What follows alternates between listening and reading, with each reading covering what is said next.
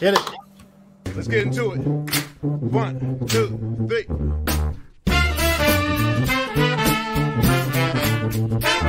Let's get some more. Clap your hands. Some more. Just get some more.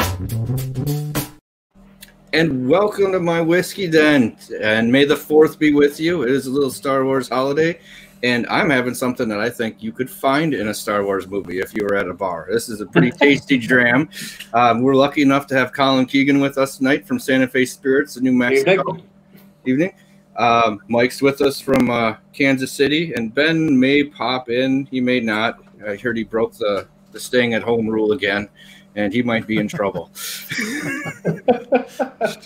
but uh, it, it, like we were saying, thank you for being here, Colin. Uh, how has it been down in Santa Fe on your end with all with kind of being in the lockdown and everything like that? I don't. Are you guys in a lockdown down there? I never really looked that up. That's my Yeah, actually we are. We our governor's really closed us down. We're opening May fifteenth.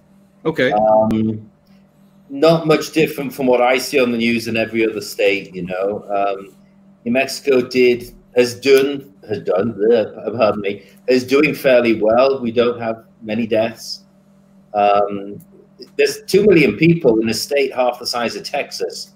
So social distancing is comes naturally. I was gonna say it's already there. It's there, you know. It's, it's, that's called day to day living for us. It's not like the big towns, you know. That's awesome. Uh, well, it's uh, kind of the first question we usually ask people who are on the stream. Um, going back in time in your life, what was kind of the first spirit? Could have been whiskey, vodka, rum. Could have just been a beer that got you excited about kind of sounds bad, but being excited about liquor in general and kind of leading you down the path. But th- there's no good way to get there. Um, Heaters on. you know, I, I it wasn't whiskey actually. You know, as a younger guy, I guess my palate was different. I remember Southern Comfort, which is going to make everybody cringe. It's so sweet and sugary. When I I tried one recently and you know, poured it out, but um, you know, I, in England, back when I was a youngster, which is where I grew up in Eng- northern England, beer was everything. And if you did a chaser, uh, a whiskey chaser, it typically was a Dewar's or a, a blend of some sort, uh, you know, famous grouse, something like that. And I didn't get this whiskey thing. That's not that interesting. And then eventually, when I found what my, my dad's liquor cabinet, which is different to mine, I thought, oh, that's what whiskey's all about. So that was my conversion: was stealing bottles of whiskey from my dad to go back to college. You know, when we go home for Christmas, like a lot of kids, really. I think. I was gonna say, I'm like, there's a lot of us that were, I kind of like that, where it was like, oh, we're drinking this, and all of a sudden you're like, Yeah. well, I, I see why this is in the locked cabinet now. Like, Yeah, distinctly why, bitter. Yeah. Yeah. So yeah, it was very similar to a lot of the kids. Um, I actually appreciated whiskey a lot more when I came over to the states. Back when I was an architect, um, a couple of clients gave me a really nice bottle as a thank you for designing their house. That was what I did before the whiskey thing. Um, we call it the whiskey nonsense these days. Uh, When we started, it was whiskey, but now it's whiskey nonsense. You know. Um, But no, that's always a good thing to get from people. I used to have that uh, where, where I worked. Um, we did like lighting for a lot of houses or businesses and stuff. yeah. Would come in and you know, if you're there for a couple hours, once you get to about hour three and trying to pick stuff out, people start getting fidgety Yes. or a little annoyed. And I was Yeah. like, you know, we we can have a drink, you know, and I have you know these seven whiskeys. You can take a pick, or, or and we have one bottle of rum, and we can mix them. Yeah. You you didn't have anything while you were at the store. Just remember that. But Yes. if you want a little something to take the edge off of how much you just spent, I understand that. yes, there you go. Uh, before we get too far, we usually like to steal a couple things from the chat, and I don't like to get too far away from it because I'll forget something. It'll spin by. So give me a second here. Uh, Spencer was wondering where in northern England did where did you grow up? Uh, it was Newcastle upon Tyne for anybody who knows England. Newcastle is the easy phrase if you're from England. It's the northeast, about um, 120 miles south of Edinburgh, Hmm. on, on the east coast there. Um, I know where that is. I, I have Yeah. a friend living over over there, and well, oh, cool. husband was from there. And I'm well. There's a lot of places I'm supposed to travel. This thing kind of held me back, but that's okay. Yeah, We were joking that there's going to be a, a whiskey wor- uh, whiskey den world tour when this gets done because we have too many places we're supposed to go visit now. Yeah. kind of got, got put in hold. But no, that that's awesome. How, that's, how did you end up coming from over there to over here? Was it just the architecture? Architecture? you were looking at? Um, it yeah, it was really. I left, uh, you know, bummed around. Well, bummed around. I was a junior architect down in southern England for a while. Um, when the economy takes a downturn, nobody needs fancy architects to design the houses for them. I was in mostly residential, so uh, I lost a job. I thought that's it. I went to see hang out with my brother in the British Virgin Islands Oh, trying to be a beach bum, delivering boats and decking boats and scraping barnacles off. It was a lot of fun. Unfortunately for me, I got a job again as an architect. I, applied for a job and goddamn it, I got it. So the beach bum thing I failed at. Um, and really failed at being a beach bum because in a, within a year of landing in the Caribbean, I ended up married with a adopted daughter who was one years old, New York clients, and a Caribbean work crew. So New York clients think you could build a house in eight months, and Caribbean work crew saying, "Hey man, that's three years." And I was a 27 year old trying to pull these two things together, married with a one year old. I failed at being a beach bum. yeah, you wouldn't have any time. I'm like, just just the just having the, the one year old at that point sucks up a lot of it when you're trying to do work in general, let alone, like you Yeah. said, trying to compromise people's ideas of what reality is. yes, there you go. So yeah, long road to hoe, but you know, still with the same wife, and my daughter's now 29, and uh, moved to Santa Fe in 1992. Set up Nice. shop, and um, you know, started the distillery in 2000. Actually, uh, 2010. Okay, so So that, it's 10, 10 years old. that's very cool. Um, and what what made you want to start Santa Fe Santa Fe Spirits? Um, another downturn in the architectural economy. Well, it was, you know, um, you know, 2008 and then nine. Nobody needed a high-end residential house on a golf course, which was really what we we'd been sort of slotted into. We just were doing a lot of big houses for rich people, to be facetious about it, but they kept paying the bills. Yep. Um. We're in a lucky position that found a building, bought a still, and then about a year later went, holy cow, what have I just done? Um, started making single malt, which wasn't very good, so that's why we don't have any 10 year olds out. Um, ended up branching into all kinds of other things, but the real spark of it was, you know what? I, I want to just do something different from architecture.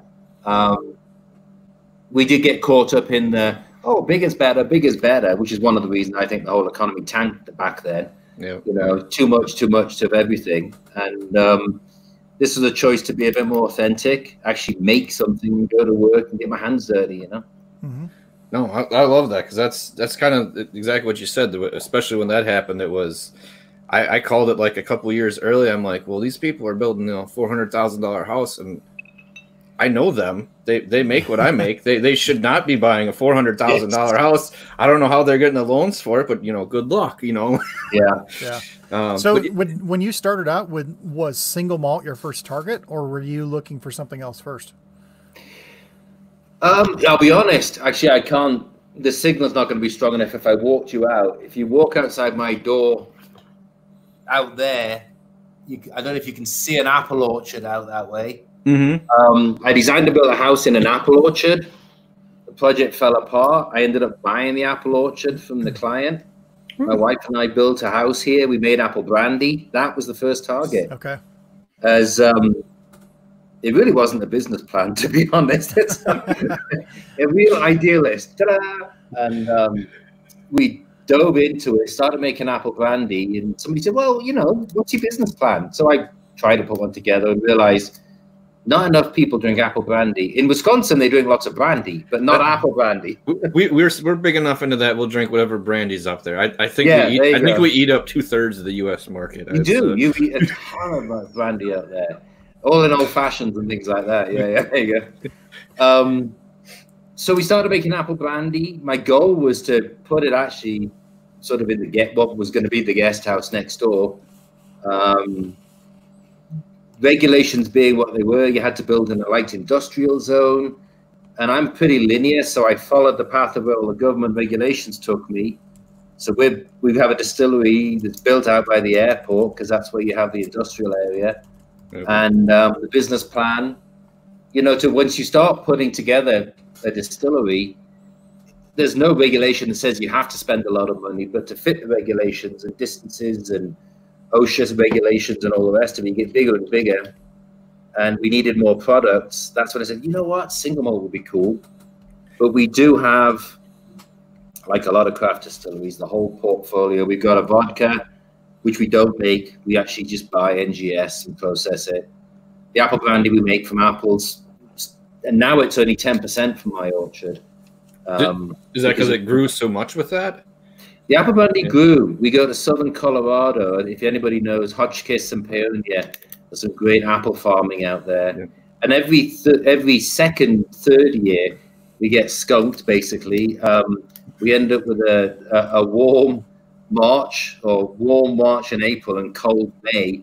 You get a frost and it kills the blossom, so you don't get a crop. So anyway, so one thing led to another. We got apple brandy going and a vodka. Um, really, vodka was just gravy, let, you know, to keep the lights on, so to speak. Um, our gin is actually still our biggest seller. We put all the botanicals in from New Mexico, so it's got osha root, grows up in the mountains. Got the cactus blossom we put in there. That does Um, sound pretty unique compared to everyone else's. That's awesome. there's only five botanicals and we actually harvest them all well we have harvested let's say they're sourced locally sometimes you have to buy them from other people um, there's cholla cactus blossom and for the beer drinkers our um, citrusy note because new mexico gets frost so we can't have real citrus is cascade hops which if you know from drinking ipas has that sort of lemony flavor that's the top note, and then very little juniper, but the big note is sage, very desert-like, like the sort of sagebrush you get in the desert. So it's different.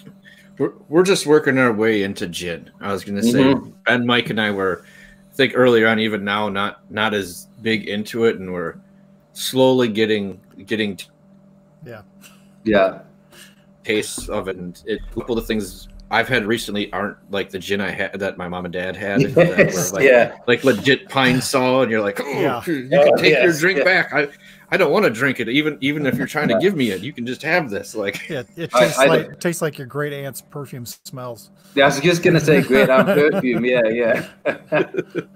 so we're, So, yeah, we're we have, we, yeah, we have gin, vodka, apple brandy. We do an unaged whiskey. I should have put it on the table here. A Silver Coyote. Yeah, it's a white dog, but here in New Mexico, we thought Silver Coyote is as close to white dog as we can get, so we called it that. Um, and then the the three mainstays really are the ones that are going to hold us through it. We think are the whiskies. It's all based around. I'll, I'll show you here. Mhm. Colkegan Single Malt. I'm pouring that right now. See? Oh, you got it right there. Yeah. I do.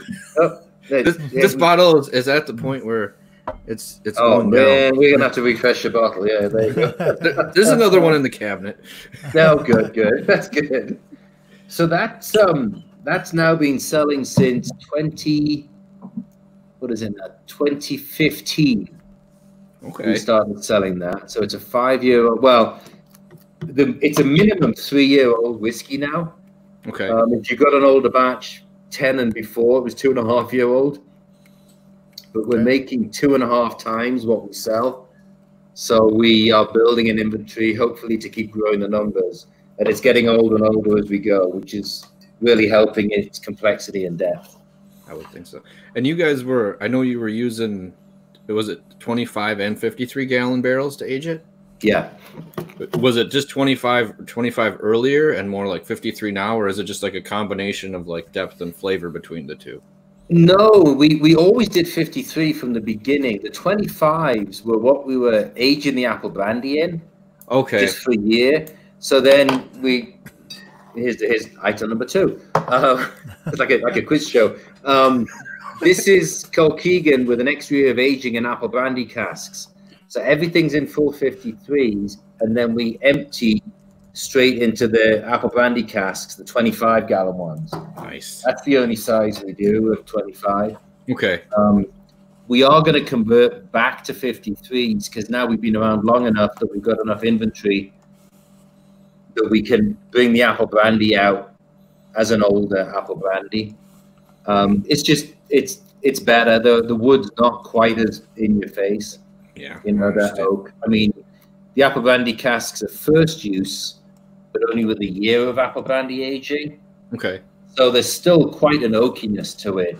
Th- th- This one here, the apple brandy cask finish, the apple brandy is a little sweeter, leaning towards bourbon because of corn, and it's got a, a sort of newer oak flavor.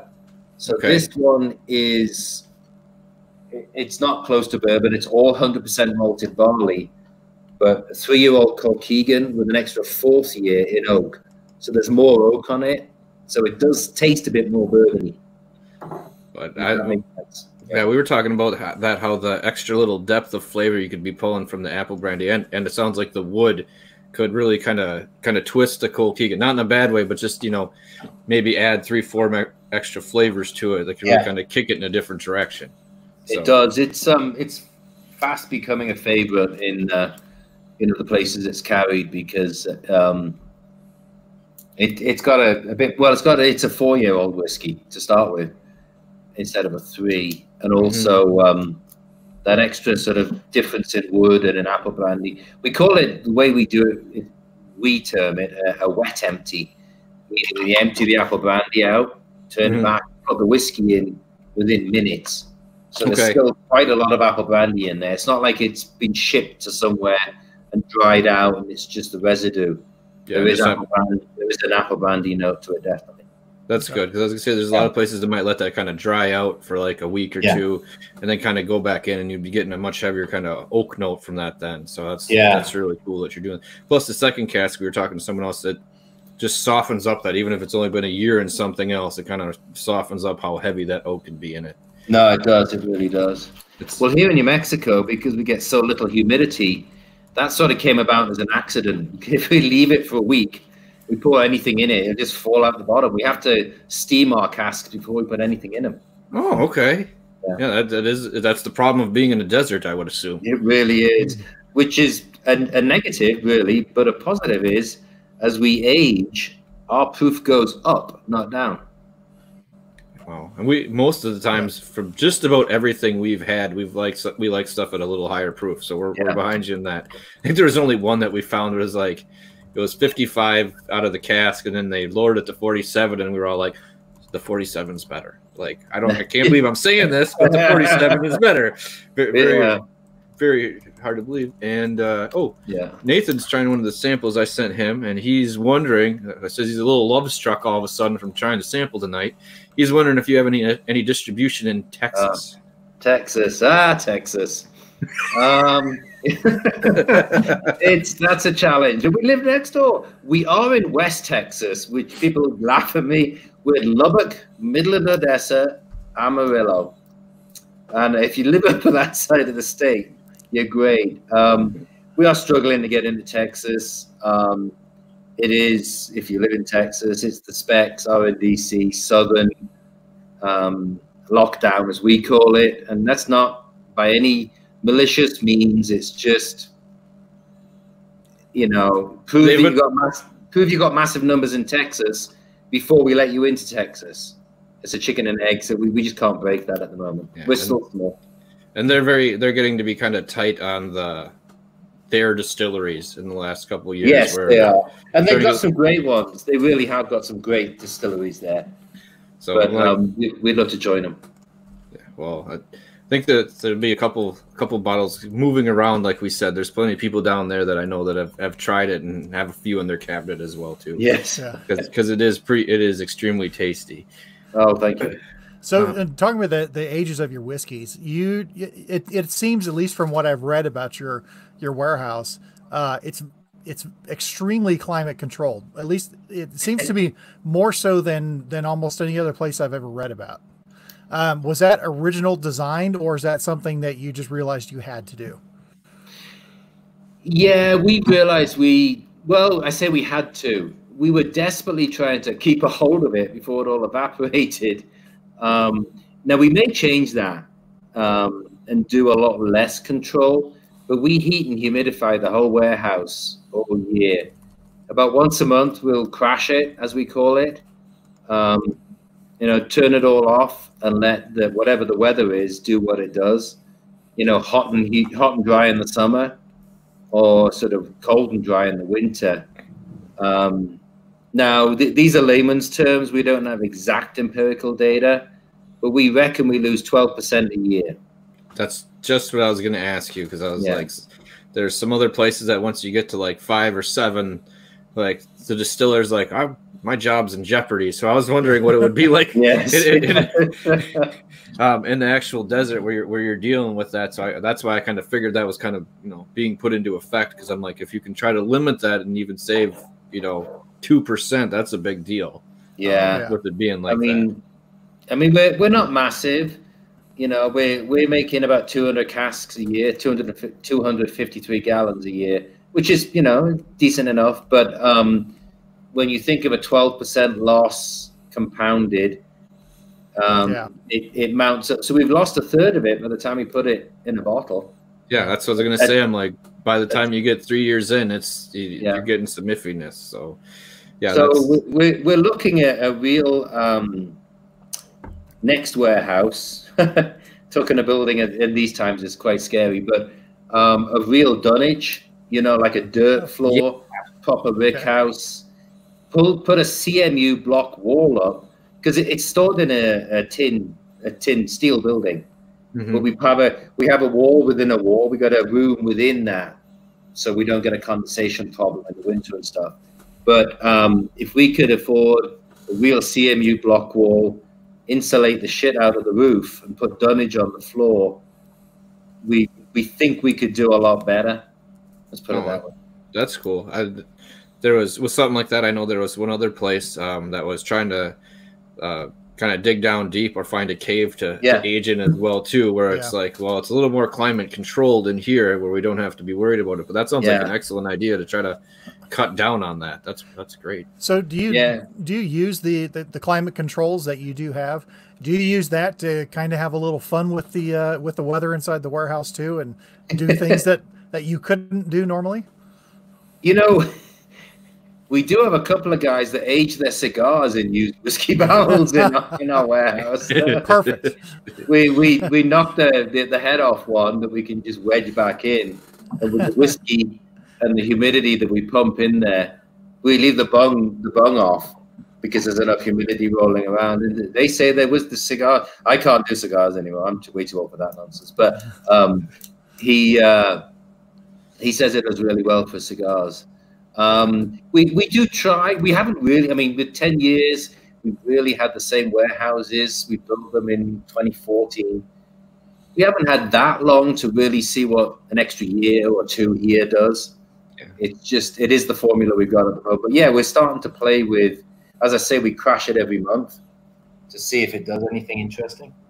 Oh, that's that's awesome. Yeah. Um, Kind of switching you back over because I know Yeah. uh, the uniqueness from from this one is because you use mesquite wood to to smoke some of the malt. I think like at least thirty percent of it. Um, what led you to, to to use mesquite wood over some of the other woods that you might use to to smoke the malt? Well, what we found as we were going through putting together the distillery, which I just wanted to make whiskey, was you know, marketing's really part of your story. You've got to keep it authentic, either to hey, we're the best brand in the world, which costs a bit of money, or we're authentic to where we're from. So we decided on pinon wood. There's two. There's really two woods here in New Mexico. We call them trees, but in other states they count as bushes because they don't grow above 30 feet tall. Pinon and juniper, and juniper is the mesquite is part of the mesquite family. Um, if you come out to the southwest and you get that really nice, pungent, slightly acrid um, smell from the smoke, that's pinon. It's great, and we tried aging smoking with pinon or having somebody smoke for us, and it came out with a sort of tarry, acrid smell and taste that we didn't like. Um, now that as having said that, that was just on the grain. We really didn't go through the whole process of it. But we we came across, you know, juniper, realized it was part of the mesquite family, tried smoking it ourselves, and thought, yeah, this smells like barbecue. You know, I mean, it, it there's sort of that mesquite wood flavor. Um, and then we lucked out by finding a guy in um, Virginia. Have you had um, Copper Fox whiskey? He does a single malt too. Yeah. Rick Wasmund. I've heard of Um, him. I haven't. Mike has had. it, It's so. uh, Copper Fox. What's I forgot the name of the distillery. Copper Fox is the whiskey line, I think. Anyway, he was another distiller, and he was smoking the grain for us in a real rick house. Yeah, it, it's a great story. He had his mom raking it on the floor. He's, he's my age. I mean, so he would have been in his forties then when we started, and his mum would have been in her seventies. You know, raking. And it's a great picture. He's got a house coat and curler, raking the floor. Poor mom's retirement plan is out Yeah. there. right? Yeah, I know. Yeah. Okay. Come I'm on, just Mom. Just I'm picturing a- hours. picturing Yeah. a Monty Python skit. Yeah, it would have been. It would have been a great Monty Python sketch. Come on, man. Come on, pass me the ring. Come on. so he was uh, having. He, he, Rick's a good guy. and He makes a great whiskey too. And as we started adding, we were doing uh, one super sack about a thousand pounds a month. But as we started getting to you know five, six thousand pounds a month, on top of his own whiskey production, he said no, go somewhere else. So uh, we moved over to the bigger houses that do it. We we get a, a smoked and an unsmoked that goes in there. hmm And I think that the flavor when you get it is like it's so unique. It does pull you to like. I I know you. It, this isn't the type of whiskey you drink if you were in the old west at that time. But it it gives you the mental feel for it. Like I'm Yeah. like you have it, and you're all of like I feel like I should be watching mm-hmm. Tombstone or so. You know, you know, like th- th- I should be, you know, I'm, I should be watching something else. Like this really is, it puts you at home and gives you the right mindset to yeah, what you're doing. So that's what I dig about it. it, it that that the mesquite wood really kind of pulls your your demographic and your area to, to like a certain area and really makes it kind of stand out for for that section. So I, I Yeah. dig it. yeah, definitely. Thank you. Yeah, we uh, we call it a lot of times in a lot of our marketing pitch is uh, campfire whiskey. Yeah. you feel like if you're going camping, take a bottle of Colkegan with you. You know. hmm And I think when I first had it, compared to like other stuff, I, I like told someone I'm like, this is like American smoke to me. Like this is where Yes. you're getting you're getting smoke and other stuff from from a lot of scotches in there. But I'm like, this is something you could label as like clearly being like an American smoke. It's very unique. It's it's very regional, um, and it had a really awesome punch to it. Yeah. Um, and Yeah, just- we, we we we enjoy this. I mean, we only a third of the grain is smoked. Actually, Mhm. one one third of it is done by Briess Malting House for us in Chilton, there, back from Wisconsin. You know them, yeah, they and They- uh, do a lot of stuff, but there's not too many people that do a lot of, of barley and malt and stuff. So no, yeah, they they smoke that barley, and uh, Shakopee, Minnesota, does the other two thirds of it. okay. We, we tried a full hundred percent smoke, and wow, it was back in the Ardbeg Lagavulin category. You know, it was a bit too much for us. So we went we went back to something that we can sell to most Americans. We hope. This just on that whole Ardbeg Lagavulin thing. Yeah, yeah. Do, do you have any casks with that stuff in it by chance? that was You know, we don't. We Okay, would love. I mean, thought. we're not quite um, in into the larger category. I know some of my uh, buddies with other distilleries um, are trying to talk to the Scottish guys. Can we get one of your casks to finish ours in, and we can have one of ours to finish yours in? Um, the Balcones guys from Texas are doing stuff like that, and they're they're trying a project where they're aging Balcones in Scotland and have some Scottish whiskies aged in Texas, which is kind of fun. And I, I believe the guys at Westland are starting to play with that. I, No, I they was got gonna- if, many you, if you were getting that darker, richer kind of smoke note, we do know a bunch of people that would be would, would also delve into that world as well Yeah. too. Yeah, oh yeah, yeah. I um I I I like me an Ardbeg at the end of a long weekend, you know. uh, sat late deep into a Saturday night when it's late. You know, I actually I was lucky I was at a trade show and I traded a bottle Colkegan for Octomore. I can't normally afford that, but Holy That's shit. great stuff. That's what it is, 300 parts per million or Yeah, but that that's all. Even to find it around here is a pain in the ass. So that's yes. awesome. it like, didn't oh. last long enough, but I'll, I'll wait for another trade show. Yeah. Sorry, that's great. That, that's an awesome trade. That- That's going to be a good part of like going to trade shows is being able to to do that and to kind of meet and kind of do some nice networking like Yeah. that. That's that's Yeah. great. That's Um, one of the reasons we try and drive as much as we can because you can end up with an extra couple of cases of your stuff and come back with an extra couple of cases of other people's. It's great. um, how with the whole kind of virus thing going on, how I know your distillery started making hand sanitizer. Yes. H- How has that worked out for you, or are you getting to put anything into actual barrels right now, or is it all pretty much hand sanitizer production? Because we've had some people kind of be all over the board with that. Um, in April, we didn't make anything, Okay. um, any whiskey. I mean, we made, we were processing about 500 gallons of hand sanitizer a week. So that that's that's two totes. You know, that, that's a lot of hand sanitizer. Um, my distiller was pulling his hair and he wanted to get back to whiskey. What he's done is he's um, basically filled one of our fermenters as a big batch of sanitizer. And because we can't have other people in the building, we normally bottle with volunteers. We're still one of those little distilleries that has a lot of fun. That's a cool. That's a cool week to come out or a day to come out. It's a stuff. cool day, which we can't do at the moment. So the staff are all, my sales guys out running out curbside delivery of sanitizer, then going on the bottling line. So we pulled him back into the distillery, our distiller. Um, our assistant distiller just moved right before the COVID stuff happened. So we, we just run a crew of two in there. Okay. Um, so our distiller's back by himself, and um, you know, really getting his hands dirty and having a good old time in there.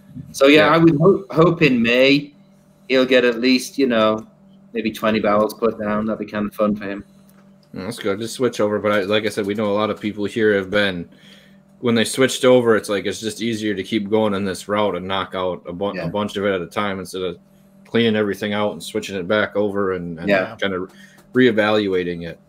Well, ours is some guys are trying uh, what I think is a very heavy lift of distilling beer into NGS. Our our still is only a five plate, so we couldn't do Okay. um, a, a vodka or an NGS out of it.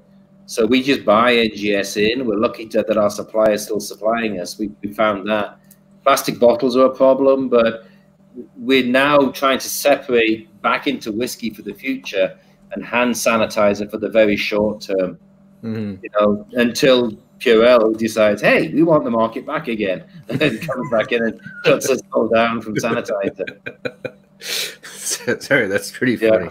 Yeah. Uh, Spencer's asking anything without the smoked uh, barley or smoked malt in any of the are there well basically you make anything without the mesquite wood kind of smoke to it um, is there anything in any barrels like that where it's just kind of the, the normal malt Yeah, you know, when, when you sent some questions of, you know, what, what we're going to be talking about, you asked what's coming in the future. mm-hmm.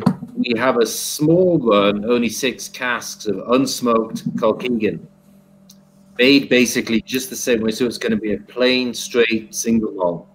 okay Um, it's tasting okay, but it's only had 18 months. okay Um, I, so I'm not going to put too much emphasis on that, but we're trying an unsmoked uh, Colkegan. So we're going to make it the same way. What we do have in the market at the moment is a white dog, which is Silver Coyote. okay Never had smoke, and it really wasn't designed that way.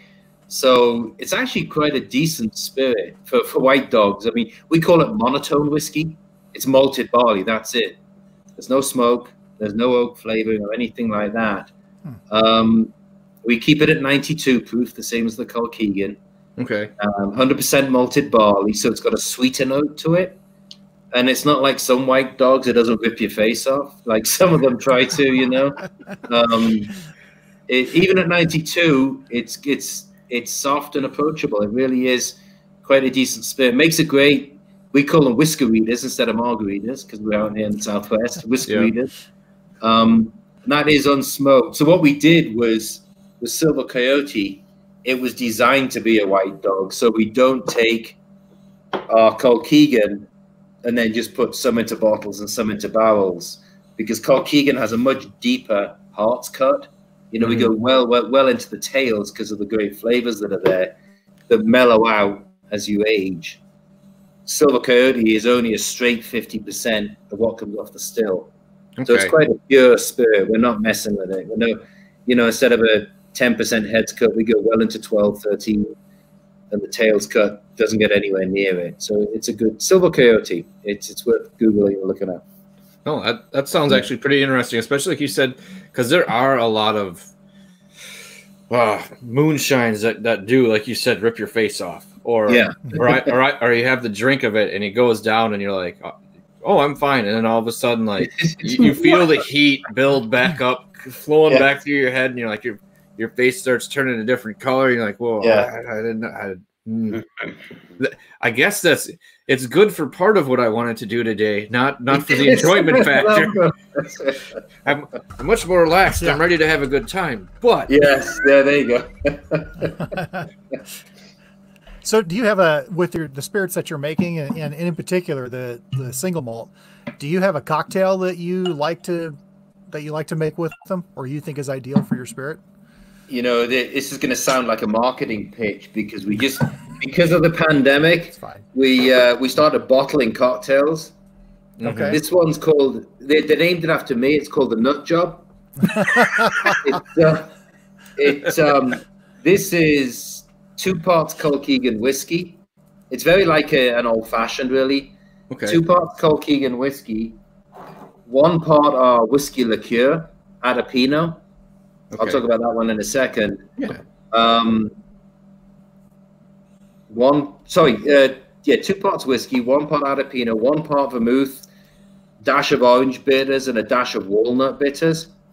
Oh, I like the two um, uses of the different bitters. That's cool. Yeah, the the bitters, the orange and the walnut, really pull out. Just a bartender just was playing around and came up with this, and right, that's it. That's my favorite cocktail ever.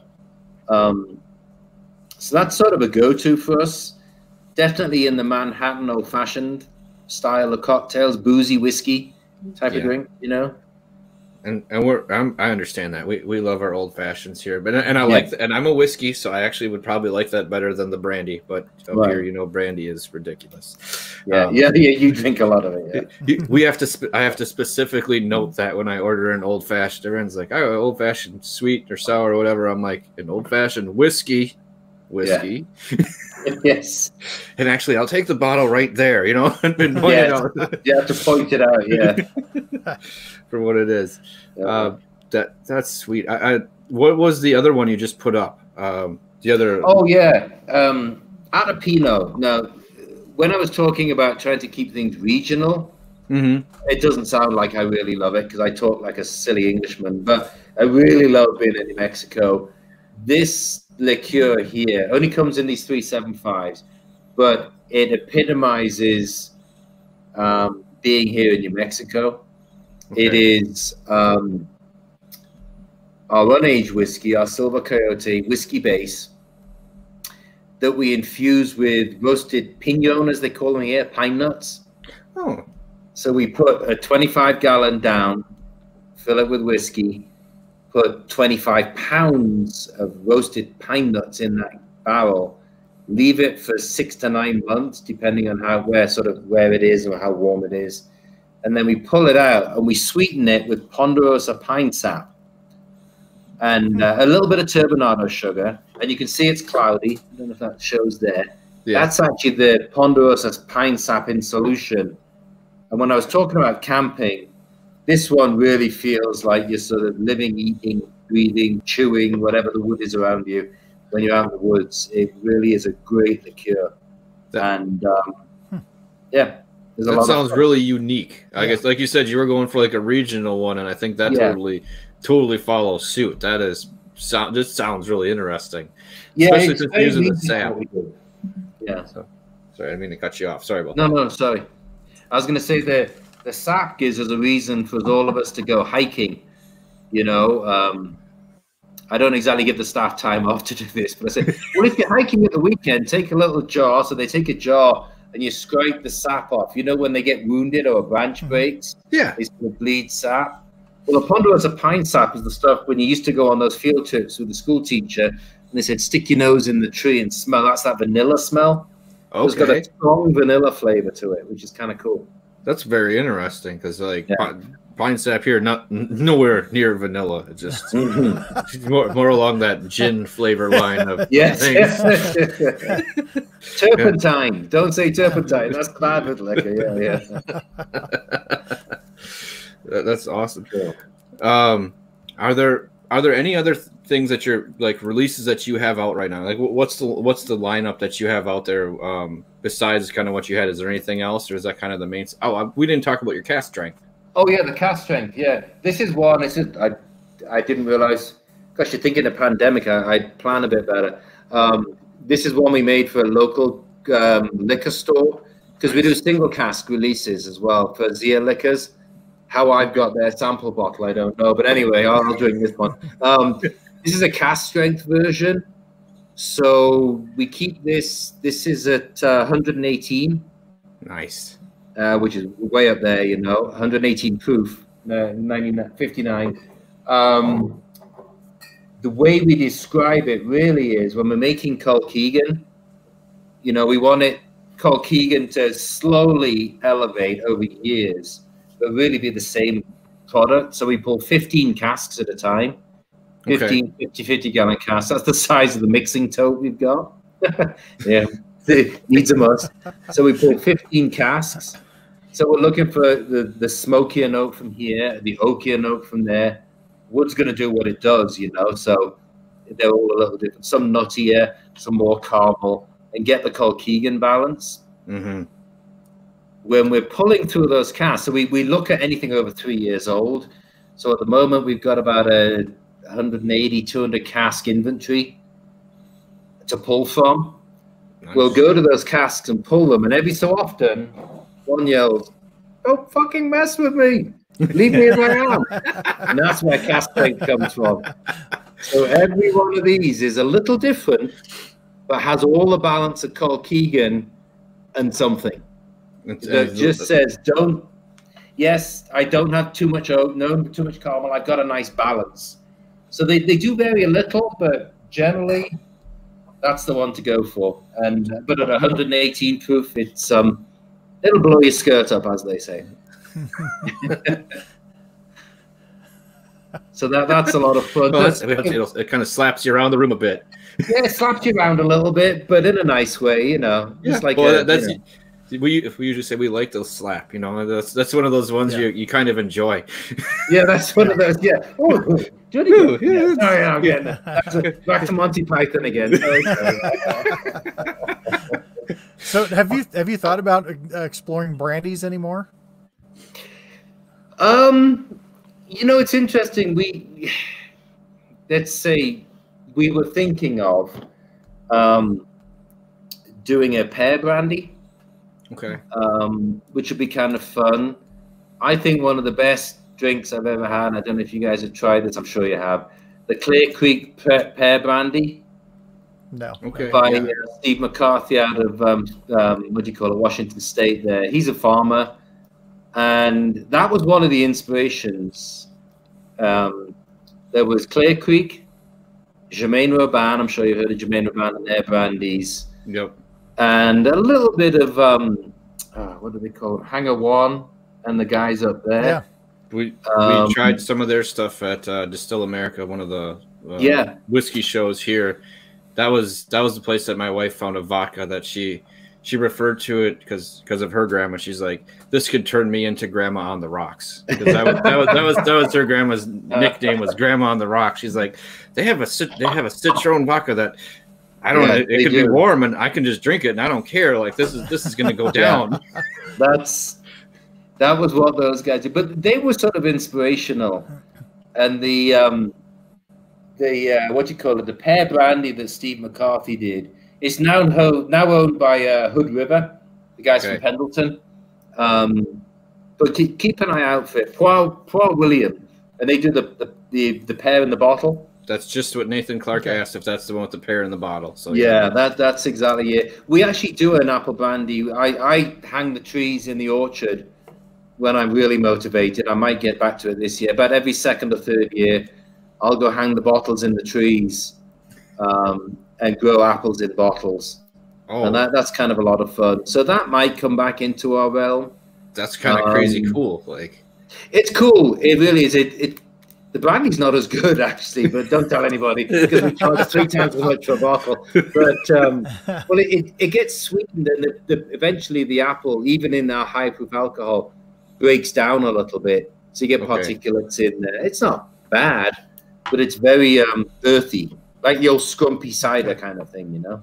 okay, yeah. Um, so that's really where we're going. I mean, we're going to see how the un- unsmoked whiskey goes if that turns into something.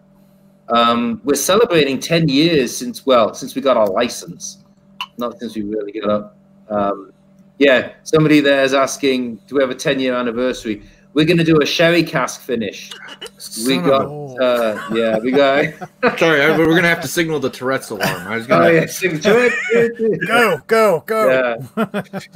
Whoever was just asking the question was reading, really reading my mind. Um, this September, having a big shindig at the distillery, and we'll have some bottles that, if direct to consumer shipping happens, we can ship around. Oh, Um, we've got two of the what were they, 63 gallon Oloroso casks that we had shipped over, and um, I'll be honest, we did buy some Oloroso sherry and swill it back around in there just to sort of wet wet it down again. We let it in there so it could evaporate into the cask. Left it for a week, made sure it was steamed, and then we could put the whiskey in. And oh god, it's it's really good. If you're around, in, if we can travel in September, come up to Santa Fe. We're having a hell of a party. that's uh, that sounds neat, and, and especially the way you did it, where you kind of like re-wetted the barrel a bit, which is I totally love. Is so just kind of freshened it up. About, Yeah. Before you did it, because like we were, I think we were talking before, you can you can really lose a lot by the time a barrel gets over Yeah. here from where it's where it's coming from. You'll still get the flavor, but it really does kind of brighten it up if you do something like that. So Yeah, that sounds Yeah. delicious. Yeah, that's and it sounds deadly too, like a little. yeah, we're going to keep it at higher proof. Yeah, as well. When in September is your anniversary party? We haven't we haven't quite decided yet. We're, Okay. we're sort of very you know like everybody. we're we're sort of week by week at the moment. It's like how do we keep the doors open? You know, Mhm. when when does the PPP loan run out, and when does my line of credit run out? You know. But yeah, we're we're probably looking at mid late September. It's a gorgeous time to be in New Mexico. Then. Yeah. Yeah, and then says like Mike, like Mike's got the calendar out. He's like, what fucking day is it? Hey, you know I'm I'm good for a long road trip. I'm, Yeah, you're, you're welcome anytime. That, that actually the the Oloroso sherry. That's that's probably one of my. Hmm. I, I that was where I kind of started leaning with a lot of kind of finished casks for a while. Recently, I kind of gotten a little bit more into port, but like I do love a good sherry finish, and that like same thing with the apple brandy. It just would be a really unique kind of extra kick to this. Yeah. Um, that I don't. That sounds wonderful. Um, I I have to get my brain out of brain out of the gutter. I'm, I'm thinking too much about it for a second there. yeah. Sweet. Sorry, Wow. I'll pop that back on. Um, So what else can we talk about? There's loads of things to talk about. oh, there is. I was say we went over a couple of the other things on on there. Um, so as far as getting your product, um, what online places can you mention, or do you not mind mentioning where people can order your product? Um, well, in the sort of western part of the US, we're with LibDib. okay, Um, you know, so that's California. They're working into Colorado. We have a distributor in Colorado, but Yeah. um, you know, with the stresses and strains of what's going on at the moment, we're, we're hoping that relationship keeps going. They're very small. You know, there's like a Yeah. the 20 person sales staff for the whole state. Um, if that doesn't happen, we would shift to LibDib in Colorado, which means basically as long as Okay. your liquor store asks for it and they've signed up with LibDib, we can send it.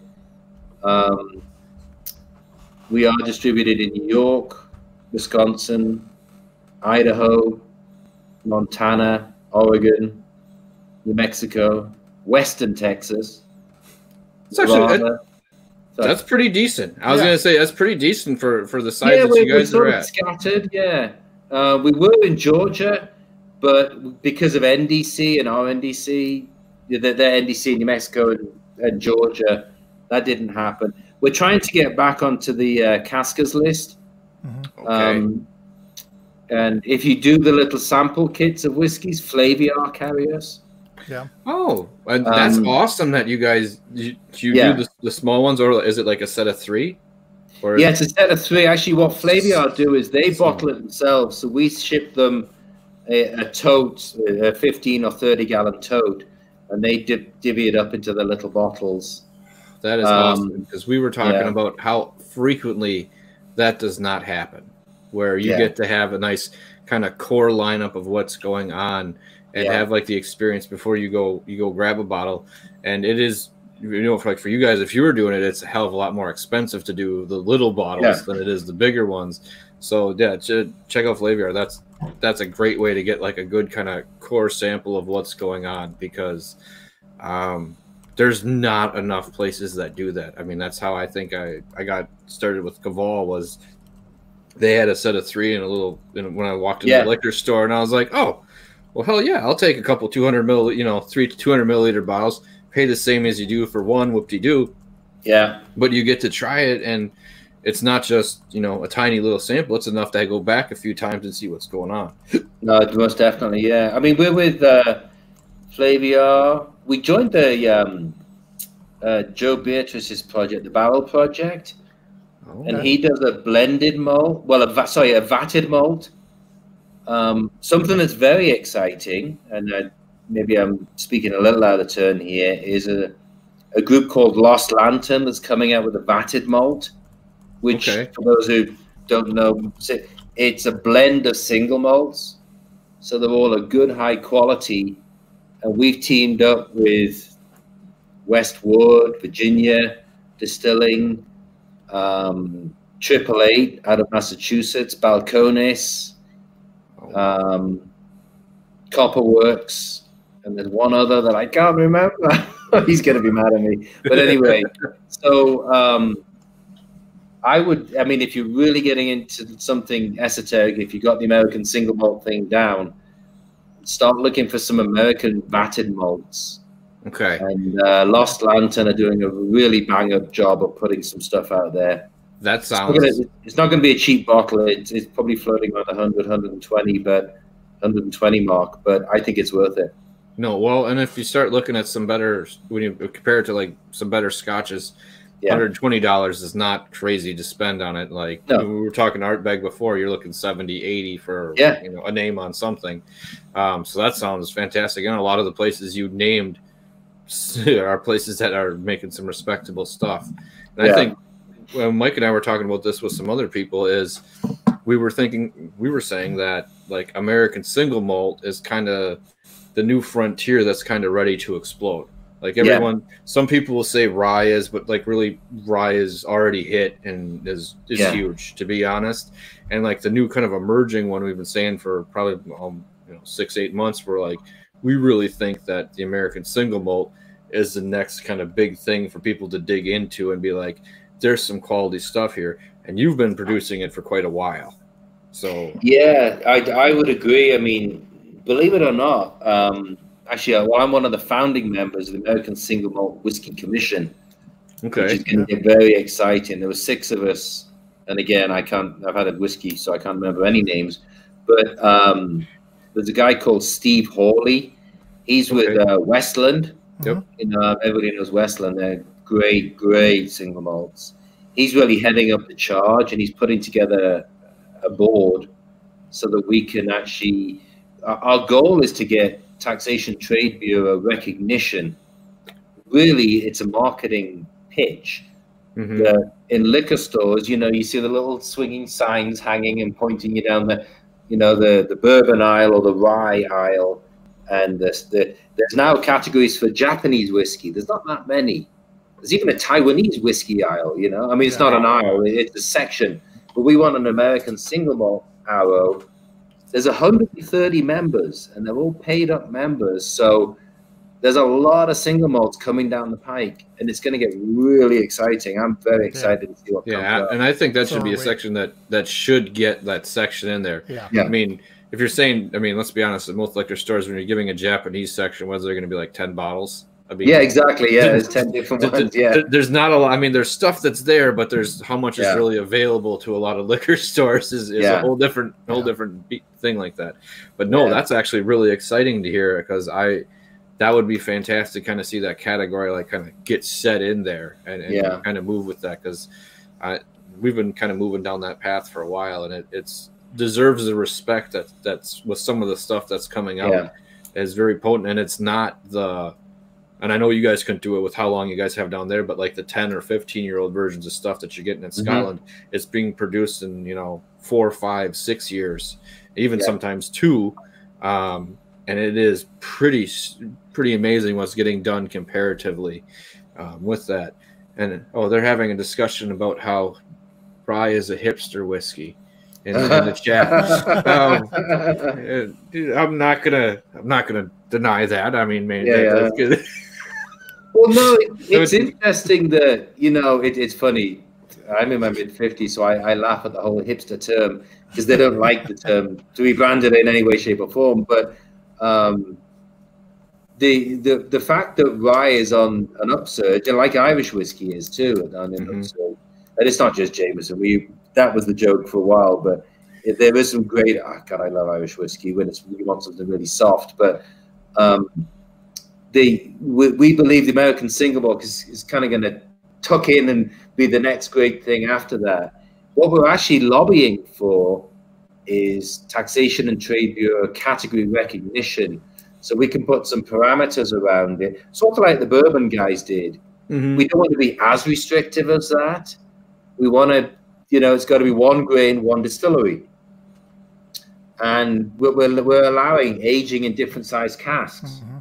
You Yeah. know, we're, we're trying to be inclusive instead of the Scottish Whisky Association, which is a bit exclusive. You know, that's that's my Yeah, perspective. just a Yeah, little bit. It only takes you 15 years to start a Yeah. distillery there. Like just yeah. Yeah, And and now they're changing their tune because they're realizing they're losing a share to the rest of the world for, for good reason. Mhm. You know, the, the, their, they thought their threat was Japanese. I really think it could be the ingenuity of what's coming out of America. I really Yeah. believe that. Yeah. I, I, I, I agree. I, I totally agree with that. And that it's we. I mean, we've covered a lot of well, mostly small craft distillers, Yeah. and it it seems to be the most exciting, especially when you find somebody who's got you got a spirit, you taste it, and you're like, well, this is this is 19 months old. You're like, oh my god, this is Yes. fantastic, and Yeah. and it's just because they've they've chosen to to um, to one not not source their spirit you know Yeah. to try something different because it's like i i have to make a a, a, a mark for myself. So here's Yeah. what i'm going to try.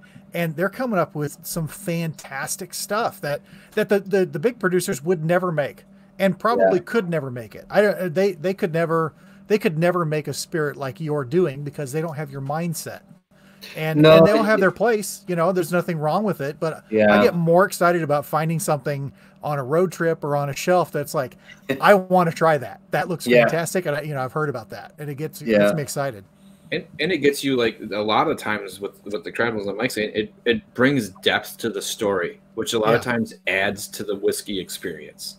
yeah, I've- yeah. I mean, I've already thought that like adds a whole nother notch. Like this is fantastic, and then whiskey nerd Pat kicks in and he's like, "And did you know this? And did you know that?" And we we kind of have to kind of peel back and be like, "I don't want to overwhelm these people, but yes. do you know why this is so effing cool? You know, Yeah. like there's there's not just is it does it taste great.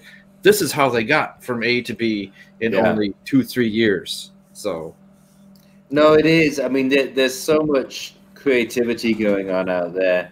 I, I think the American single malt category is really trying to. I mean, it, don't get me wrong. In all that creativity, there's some. There's been some bad whiskey come out, and I hate. They're all my buddies. The same as you can say, you know, my my buddy on my soccer team's not a good guy. You're not a good at soccer, but I love him dearly. You know, there's some bad whiskeys come out, but sorry. maybe I should stop drinking right now. But anyway, no, but I mean, the, the, the, the reason for the category, the categorization, is to try and sort of herd it in a little bit at least.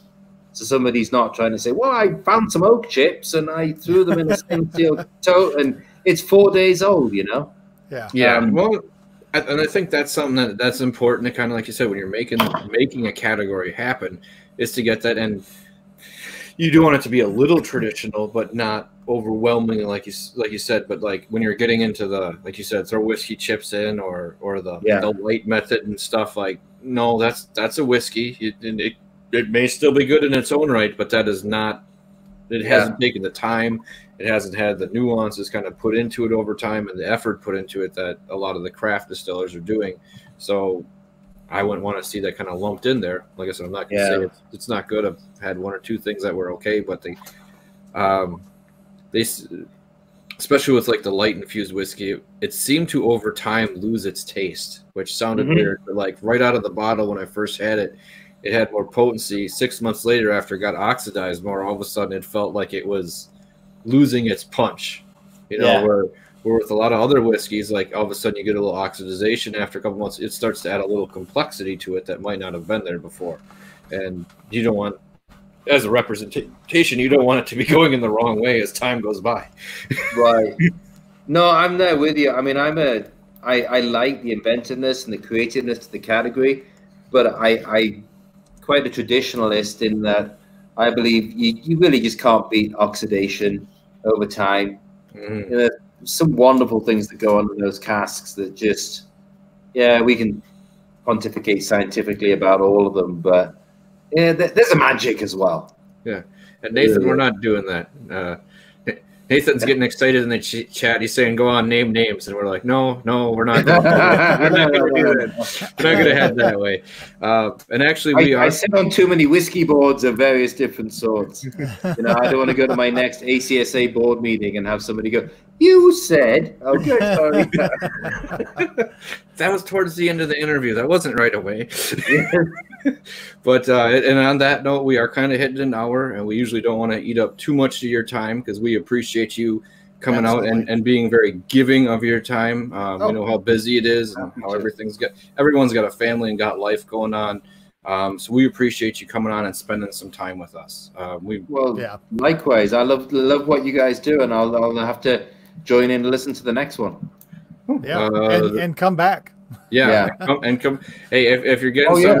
towards uh, when you said in September, if for some chance we we don't get to get out there, um, we, maybe, maybe we could you could come on. We could talk about the newer the sherry release at that time and let Yeah. people know about it because that sounds super interesting. Yeah. Um, that- Very interesting. yeah. See, that is- whi- whiskey trips. That that could be a whole nother side series. Yeah, you know, I, I, if we do start traveling again, I could see a lot of, you know, I think the Bourbon Trail is a wonderful thing to do, and it was a lot of fun. But I could see some real long road trips around. There's 2,000 craft distilleries. You really don't have to travel much more than you know half a day to get to the next one. Well, that that was kind of what our what our other shows on was having people like you on is to kind of get get the word out there about what's going on if you are going on vacation. Because that that's what I always I always did was like if I'm going on vacation I'm not just going to a city. I'm going to a show. I'm going to see something Yeah. unique. And now it's kind of it's more distilleries for me but at one point that was kind of like a really sweet side trip was like well we have a show. We're going to it at you know seven o'clock tonight. What are we going to do from noon until whatever? Let's go check out this distillery and see what happens. Now that's more on the schedule beforehand not just what gee where could we go? That that's kind of, that's kind of the point of the trip sometimes. Uh, and, and and the show was extra but like it, it is it, it makes like a whole experience of seeing a town or an area you get like kind of that extra depth to it that you don't always get. Like it, mi- it might have been a restaurant before that you went to that was like well this was super cool because we went here and it was really authentic. I find Yeah. distilleries to be very authentic and very regional and very kind of open and honest with who they are so uh, Yeah. it, it really adds to what's going on um, Yeah, I, I love uh, one of the things, you know, when you really get tired of the whole having to sell whiskey is hard. Having to make whiskey is a lot of fun. Um, hanging out with all my buddies. And Colorado's, what has it got, 104 distilleries now? yeah It's it's really blew up I, I mean, there's 12 of us in New Mexico. We all hang out a lot. But I just love going to see other people. It's a great team. Technically we're competitors, but we never think of it that way ever. We're all in it, all in it together, pebbles in a bucket. Well, and that's the way a, a couple of the other craft distillers we talked to were like, well, we're not really we're not really against each other. It No. sounds bad. We're against the big boys, and if we could if we can eat up five ten percent of their sales, we'll we'll take it. You know, Yeah, well, we will definitely. Yeah, yeah. we'll, we'll take some left of what's there. Um, but thanks to everyone in the chat for stopping out. We appreciate it. Uh, thanks for coming out and hanging out with us. If you get a chance, uh, Whiskey Crusaders is on after this. I they've been interviewing one or two people recently. I don't know if they're doing that tonight, but stop and check them out. But Colin, thank you so much for coming on. We really appreciate it.